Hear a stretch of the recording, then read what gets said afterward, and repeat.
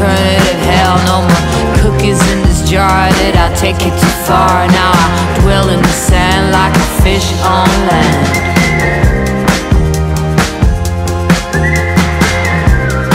Like a fish on land.